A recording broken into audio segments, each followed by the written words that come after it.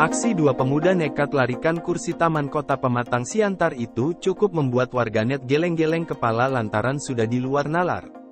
Momen dua pemuda nekat larikan kursi Taman Kota Pematang Siantar itu diunggah oleh pemilik akun Instagram @sumatera garis bawah tol pada Senin, tanggal 23 Januari tahun 2023.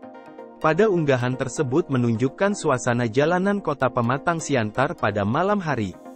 Saat itu sedang terjadi aksi kejar-kejaran antara maling dan pemuda sekitar.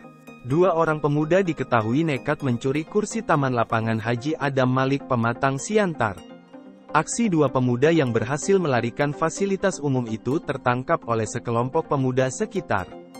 Kedua maling yang mengenakan topi itu tampak mengendarai sebuah sepeda motor dan menaruh hasil curian mereka di jok belakang. Bukan hal yang mustahil membawa kursi taman yang begitu besar di sebuah sepeda motor bagi dua pemuda yang disebut-sebut bertindak di luar nalar karena kebutuhan obat-obatan terlarang itu. Salah satu dari mereka mengendarai sepeda motor dan rekannya duduk di atas kursi taman yang ditaruh di jok belakangnya. Aksi mereka tertangkap oleh sekelompok pemuda sekitar sehingga terjadi aksi kejar-kejaran di tengah jalan.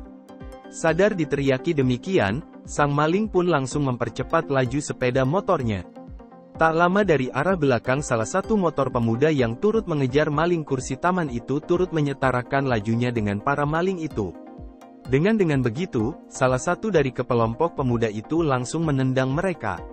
Akibat tendangan itu motor yang dikendarai para maling itu sontak oleng. Dua pemuda dan hasil curiannya itu pun terjatuh ke aspal.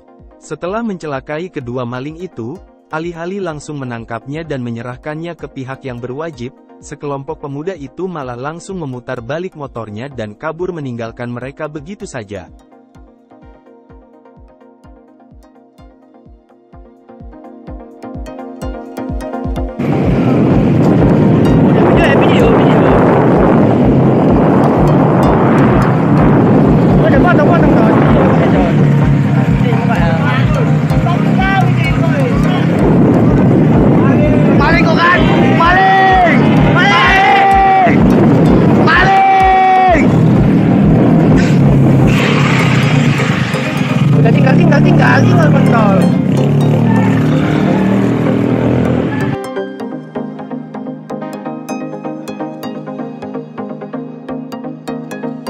Jangan lupa subscribe ya.